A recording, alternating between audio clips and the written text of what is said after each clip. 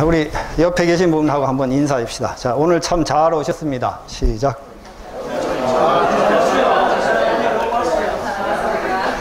한 번 더 하십시다. 우리 모두 CEO 사피엔스가 되십시다. 시작.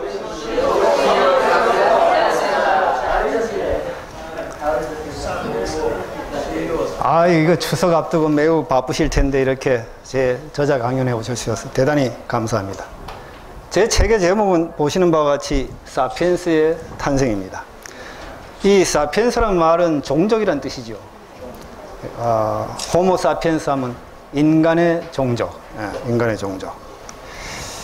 일반적으로 CEO 하면 어떻습니까? 여러분 여기에 많은 CEO 분들 오셨는데 회사 대표를 뜻하지 않습니까? 그런데 저는 이, 이 뜻을 끌어내렸습니다. 그래서 주변에 두세 사람한테 영향을 미치는 사람은 모두 CEO다. 따라서 회사의 대리도, 대학교 교수도, 또 뭐 교회 교역자도, 집안의 주부도 CEO다. 왜냐 남편하고 자녀들한테 영향을 미치잖아요. 예. 이런 CEO, 이런, 부, 이런 부류의 사람들을 우리가 CEO라고 부르고, 그런 사람들 중에 이 책에서 말하는 삼종 신기를 실천하는 사람들, 이런 사람들을 제가 CEO 사피엔스라고 명명을 했습니다. 제가 만든 신조어입니다. CEO 사피엔스. 예. 그러면 우리 이, 저, 이 삼종 신기는 어, 무슨 뜻일까요? 제가 산업대학원 원장을 하면서 여러분 잘 아시다시피 테크노 CEO 프로그램인 이, 어, 저 CEO 교육 프로그램인 테크노 CEO 프로그램을 어, 3년간 하면서 많은 CEO분들하고 같이 대화를 할 수 있는 기회를 가졌습니다. 그런데 보니까 많은 CEO분들이 비경영을, 어, 비경영 전공자시더라고요. 전공을, 전, 저 경영을 전공 안 하셨더라고요. 그러, 그래서 이 정말 필요한 경영 전략에 대한 어떤 핵심, 이런 걸 좀 아시면 좋은데, 또 이런 저 CEO 교육 프로그램에 오셔서 교육을 또 어, 받기는 너무 바쁘신 거예요. 보면 하, 정신없이 바쁘셔요. 그래서 이런 분들을 위해서 제가 이 정말 경영 전략의 핵심을 좀 써서 드리면 굉장히 도움이 되겠다. 제가 그런 어, 생각을 했습니다. 그래서 제가 이제 어, 이 원장직을 마치고 교육을 제가 끝나고 가만히 생각해 보니까 과연 뭐 무슨 무슨 말 무슨 내용을 적어 드려야 될까? 그런데 제 머릿속에 세 가지 단어가 떠올랐습니다. 변화 혁신, 전략 수립, 의사 결정. 이 세 가지가 떠올랐어요. 지금 너무 세태가 빠르게 주변 환경이 변화하고 있습니다. 여러분 변화 혁신 하지 않으면 살아날 수가 없어요. 솔직히 말씀. 그다음 전략 수립 얼마나 중요합니까? 이 변화 혁신 가는 가운데 전략을 잘 짜야 되죠. 그 다음 세 번째 의사결정 참 중요합니다. 한 번 의사결정 잘못하면 회사가 날아갑니다. 그러니까 CEO는 정말 다른 모든 거는 아랫사람에게 위임할 수가 있어요. 그런데 의사결정만은 CEO 본인이 하셔야 됩니다. 참 고독하고 외로운 존재가 CEO입니다. 그러나 CEO 여러분들이 정말 우리나라를 지탱하고 산업 발전을 위한 중추적인 역할을 하기 때문에 사회에서 정말 인정받고 존경받아야 됩니다. 네. 그래서 이걸 삼종신기라고 어, 제가 이름을 붙였습니다. 그런데 이 세 가지 제가 말씀드린 변화혁신, 전략수립, 의사결정 이게 CEO만 기업체 CEO만 적용이 될까요? 아닙니다. 모든 개인에게도 다 적용이 됩니다. 옛날에는 한 번 들어가면 평생 직, 장이었지 않습니까? 근데 요새는 어떻습니까? 일생의 lifetime career에 한 뭐 서너 번 바꿔야 돼요. change. 그러려면 변화 혁신 안 하면 할 수가 없습니다. 또, 어, 이 전략도 마찬가지죠. 모든 게 물 흘러가듯이, 물 흘러가듯이 이렇게 살 게 아니라 정말 전략을 잘 짜서 인생을 살아야 되고 의사결정도 마찬가지입니다. 뭐 아주 사소한 의사결정 점심에 짜장면을 먹을까 곰탕을 먹을까 여기서부터 그 다음에 이 결혼 상대자 고르는 의사결정 한 번 결혼 잘못하는 그 결혼을 누구냐 하는 누구와 하느냐에 따라서 굉장히 그분의 인생이 달라지지 않습니까? 그 이런 중대한 의사결정. 그러니까 이런 게 모든 게 개인에게도 적용이 됩니다. 그래서 여기서 말하는 제가 아, 얘기하는 건 CEO뿐만 아니라 모든 개인에게도 어, 적용이 다 되고 있습니다. 특히 이 요즘 보면은 사회 저명 인사들, 법조계에서 그 열심히 공부하고 높은 지에 올라간 분들이 한 번 순간 잘못해가지고 떨어지는 거 보지 않습니까? 그러니까 개인에게 전략이 필요하다 이거죠.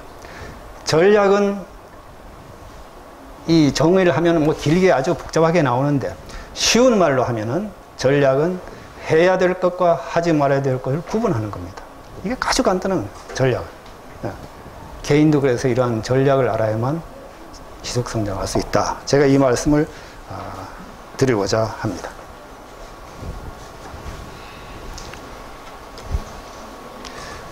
CEO 사피엔스의 어떤 거다 제가 설명을 드렸고 이 책에 있는 내용은 아, 처음에 이제 CEO의 자질에 대해서 쭉 설명을 했습니다. 그 다음에 CEO에게 필요한 세 가지 변화혁신, 전략수립, 의사결정 거기에 대해서 어, 상세하게 얘기했고 특히 변화혁신에서는 개방형 혁신, open innovation 또는 아, 요즘 이 혁신하는 방법의 중요한 그 방법 하나인 아, ambidextrous organization 양손잡이 조직이라는 게 아주 요즘 아주 어, 굉장히 중요한 개념으로 소개되고 있는데 그것도 여기에 설명했습니다. 기업체 가면은 이런 내용을 아, 장시간 뭐한 시간이고 두 시간 설명을 할 텐데 오늘 여러분은 일반인 어, 대상으로 그저 어, 일반적인 얘기 이런 걸 주로 하겠습니다. 그다음 전략 수립, 어, 의사 결정. 이 전략 수립에서는 여러 가지 차별화 전략을 위해서 여러 가지 업체들이 어떻게 전략을 차별화 전략을 하느냐 아주 상세하게 적어놨습니다. 다음에 의사 결정. 직관에 의한 의사결정, 그 다음 자료 분석에 의한 의사결정, 그 두 가지를 상세하게 적어놨습니다. 그 다음 실천하는 CEO, 이런 식으로 어, 책은 구성되어 있습니다. 저는 이 강연에서 책에 있는 내용은 여러분 읽어보시면 아, 아실 수 있을 거고, 책에서 제가 아주 가볍게 다룬 주제, 또는 책에 없는 주제, 요거를 여기서 좀 말씀드리겠습니다. 재료 열역학이라는 과목이 있는데 이게 재료공학에서는 아주 핵심입니다. 네. 우리 졸업생이 거기에 끄떡끄떡 하죠. 네. 그 중에서 재료 열역학 중에 가장 핵심되는 법칙이 이겁니다. 엔트로피와 free energy. 여러분 절대 어렵게 생각하지 마세요. 제가 아주 쉬운 말로 설명드리겠습니다. 네. 엔트로피는 이 포인트가 없네. 자, 여기 말한 S가 엔트로피입니다. 그 다음에 K는 어떤 상수예요. 어, 생각 안 하셔도 돼요. W는 이 정의를 하면 degree of freedom, 자유도인데 이거 복잡하게 생각하지 마시고 얼마나 질서가 있느냐, 무질서하냐 그 정도를 나타낸다. 그렇게 아시면 됩니다. 예. 그런데 모든 자연에서 일어나는 반응, 즉 spontaneous reaction, 자연적으로 일어나는 반응은 전부 다 엔트로피가 증가합니다. 물이 높은 데서 낮은 데로 떨어지는 거, 여러분 노화하는 현상, 하여간 모든 현상이 전부 엔트로피가 증가돼요. 엔트로피가. 네. 즉 엔트로피가 증가한다는 건 뭡니까? W 오메가 이 질서가 전부 무질서한 방향으로 간다 이거죠. 무질서한 방향. 네. 그리스 시대에 옛날 그리스 때 이런 사람들이 있었습니다. base metal, 천한 금속이 있죠. 동이나 납 이런 걸 가지고 noble metal, 귀금속을 만들려고 평생 연구한 사람들이 있습니다. 그 도가니에다가 이, 이 납을 넣고 나서는 거기다가 무슨 시약을 넣고 가열해가지고 이걸 금으로 만들어 볼까 평생 노력했어요. 그 죽고 나면 그 자식이 주 후손이 또 그 그 일을 또 하는 거예요. 몇 세대를 끌고 갔어요. 이런 분들을 뭐라고 부르는지 혹시 아십니까? 아이고 잘하시네. 네, 맞습니다. 박수. 이런 연금술사들이 만약에 이 열역학 이 법칙을 알았으면 그 순간적으로 해결되는 거예요. 열역학적으로 계산하면 그게 절대 이 마이너스가 이제 올라가 이게 이제 올라가는 올라가는 게 아니에요. 어, 그러니까 불가능한 거예요. 불가능한 거. 어, 불가능. 그래서 엔트로피는 이렇고 자 free energy는 어떻게 되느냐? 모든 자연적인 반응은 free energy는 낮아지는 방향으로 간다. free energy 낮아지는 방향으로 간다. 자, 보세요. 제가 아주 쉽게 설명드릴게요. 이 질서가 있다는 것은 태초에 지구가 만들어졌을 때는 얼마나 질서가 있겠습니까? 깨끗하겠죠? 모든 게 어, 질서가 있겠죠? 그런데 세월이 지나면서 어떻게 되었습니까? 쓰레기가 생기고 환경 오염이 생기고 온갖 이 무질서하게 되지 않습니까? 그래서 이 지금 사회에 일어나는 현상 이게 비단 자연 현상뿐 아니라 사회에 일어나는 현상도 똑같이 적용이 돼요. 여러분 신문만 보면 요즘 얼마나 뭐 과거에 우리 아버지 때 하라는 생각하지도 못한 이런 사회 혼란 낙이 자꾸 대두지 않습니까? 이게 사회 이게 자연의 법칙이에요. 엔트로피 증가되고 이건 앞으로 더욱더 심해질 겁니다. 예. 그러다가 어떻게 되겠어요? 끝에 가서는 종말이 오는 거죠. 파국이 오는 거죠. 예. 그래서 우리는 어떻게 되느냐? 이 종말을 막기 위해서는 변화 혁신을 해야 된다. 이겁니다. 자, 그럼 free energy 얘기를 할게요. free energy는 이, 어, 그러니까 질서가 있을 때는 어떻게 되겠어요? free energy는 많이 듭니다. 생각해 보세요. 원자가 여기 이렇게 있다고 합시다. 딱, 딱, 딱. 그러면 질서가 있죠. 이걸 이렇게 원자를 제자리에 이렇게 킵하려면, 유지하려면 에너지를 에너지가 많이 든다고요. 근데 이게 원자가 뒤죽박죽 막 뭐 제멋대로 어, 있게 해놓으려면 에너지가 많이 안 들죠.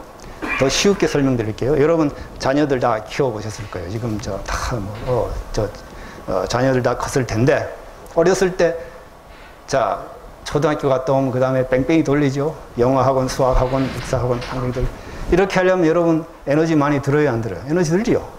그런데 학교 나와서 멋대로 해라 에너지 적게 들지요. 네. 마찬가지. 네. 그 에너지 적게 되는 게 바로 무질서에 해당되는 겁니다. 그래서 여기에서 엔트로피에서 이 질서 있는 질서 있는 질서 질서에서 무질서로 간다는 것은 free energy가 어떻게 됩니까? 높은 데 있다가 낮은 데로 간다. 이렇게 해석이 됩니다. 제가 열역학을 30년 강연을 했습니다. 그런데도 제가 이 뜻을 몰랐어요. 이 책을 쓰면서 이걸 이, 이 이런 연관성이 있다는 걸 다 깨달았어요. 그래서 제가 무릎을 쳤습니다. 마치 득도한 기분이었어요. 야, 이런 심오한 뜻이 있구나. 그런데 제가 생각했어요. 아, 엔트로피? 무슨 엔트로피라는 책이 있던데 도서관에 찾아보니까 있더라고요. 아, 미국의 제레미 리프킨이라는 그 분이 엔트로피에 관한 두꺼운 책을 썼더라고요. 그래서 한번 읽어봤죠. 그랬더니 이분도 제가 여기서 말하는 엔트로피가 질서에서 무질서로 간다는 말을 하긴 했더라고요. 그런데 free energy하고 연관성은 전혀 언급을 안 했더라고요. 이분이 철학한 사람이 열역학을 어디 배웠겠습니까? 저는 열역학을 제대로 공부했습니다.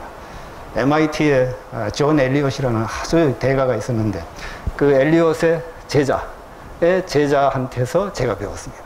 정통을 배웠죠. 그 그분이 지금 누구냐? 미국의 재료금속학회의 어, 지금 회장으로 있는 스탠 하워드라는 분이 있는데 제가 그분한테 배웠어요.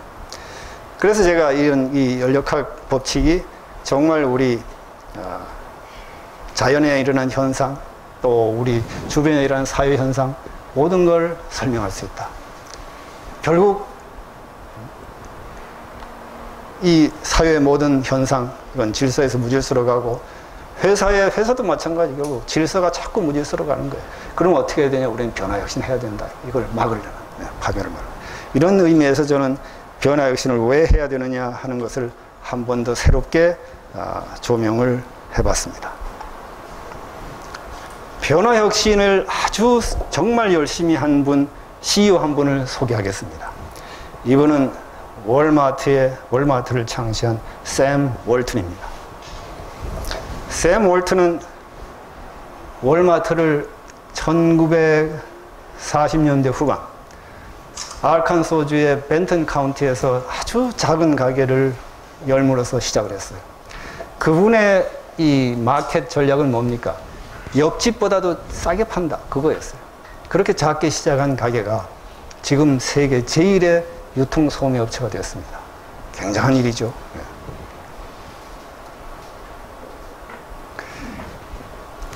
이 빌딩이 세계 제1의 유통업체 월마트의 본사 건물입니다. 이 아칸소 벤턴빌에 있는데 제가 여기를 방문한 이유는 제 아들이 미국의 코넬 대학교를 나오고 그 다음 월마트, 샘스클럽 거기에 본사에 들어가서 어, sensory evaluation group 팀장을 하고 그 다음에 바이어로 3년 반 일했습니다. 지금은 시카고에 있는 어, 시카고 경영대학원에 와서 MBA를 하고 있습니다만 그래서 아들 보러 갔다가 이제 아, 월마트 본사 한번 구경하러 가자 갔지요. 저는 아주 높고 화려한 고층 빌딩인 줄 알았습니다. 갔더니 이렇게 허름한 빌딩이에요. 제가 깜짝 놀랐어요. 이게 warehouse 창고를 개조해가지고 만들었다고 해요. 그러니까 세계 제1의 유통회사가 이런 창고를 개조해서 만든 회사에서 그걸 유지하는 거예요. 여기에는 샘 월튼의 그 정말 어떻게 보면 검약 정신 이게 그대로 내려와서 이런 겁니다. 다음 또, 또 하나의 사진을 봅시다. 요거는 샘스 클럽 본사인데 이건 이제 월마트 본사보다는 조금 깨끗하지요. 근데 역시 이것도 단층 아주 뭐 보잘 것 없습니다. 그러니까 월마트는 3만 불에서 5만 불 중산층을 대상으로 하고 샘스 클럽은 5만 불 이상 이, 아, 이 상류층을 대상으로 하고 있습니다. 그래서 월마트 샘스 클럽 본사가 벤턴 아칸소에 있는 아칸소주에 있는 벤턴빌에 있습니다. 벤턴빌에 가면은 이런 그 자, 아, 월마트 뮤지엄이 있습니다. 요 왼쪽에 있는 게 월마트 뮤지엄인데 오른쪽에 있는 게 바로 그 샘 월튼이 제일 먼저 그 시작한 가게의 복제품, 복사, 레플리카를 예, 그대로 이제 만들어 놓은 겁니다. 이런 작은 가게에서 시작한 그 월마트가 세계 제1의 유통회사가 되었다는 거고 참 놀랐습니다. 네, 놀랐습니다. 샘 월튼이 생, 저, 이 살아있을 때 쓰던 방입니다. 샘 월튼은 누구보다도 열심히 일했습니다. 또 열심히 고민했어요. 그리고 또 많은 성취를 이루었어요. 그의, 그가, 그의 목표는 비록 그렇게 작은 가게에서 시작했지만 나는 이, 회, 이 가게를, 이 회사를 세계 제1의 유통 소매업체로 만들겠다. 그 일념을 가지고 평생 노력하는 사람이에요. 네. 일요일도 새벽 4시에 출근해요. 그래가지고 10시 반까지 일을 한다고. 그러면 11시에 교회 가기 위해서 10시 반에 나오고. 엄청 하여간 그 에너지를 투입하고. 그 다음에 이 직원들하고도 굉장히 소통을 열심히 하고. 제가 늘 말하는 현장 경영을 아주 잘합니다. 매장을 방문해서 직원들하고 얘기하고 고객하고 얘기하고 늘 소통을 하고 항상 남에게 배우려 하고 아주 제가 말한 그 이 책에 나오는 CEO 가져야 할 덕목 그걸 굉장히 구비하고 있는 이런 분입니다.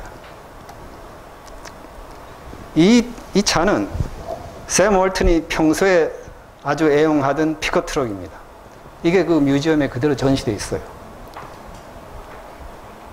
제가 웃기는 얘기 하나 할게요. 토요일 날샘 월트는 이 간부 회의를 소집합니다.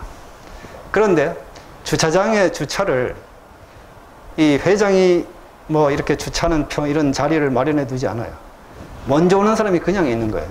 그날따라 이 저 샘 월튼이 좀 늦었다고요. 그러니까 이 먼데 주차하고는 이제 걸어왔지요.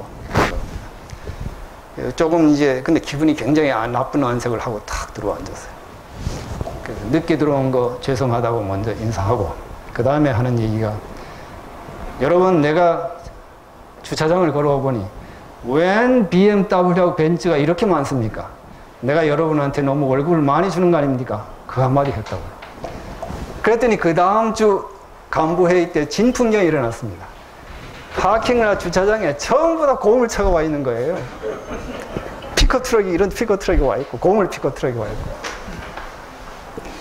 이게 뭐, 샘 월튼이 너무 이 딕테이터, 이 마치 저, 이 어, 독재자 같이, 어, 독재자 같이 아니냐, 이런 이제 의견도 제시할 수 있지만, 이 일화에는 샘 월튼이 얼마나 이 검약한 그런 정신을 살았냐. 그런데 그렇게 검약한 정신으로 사업을 해가지고 그 이익을 전부 다 소비자한테 돌려줘서 물가를 최소한 가격을 낮춘다 그죠.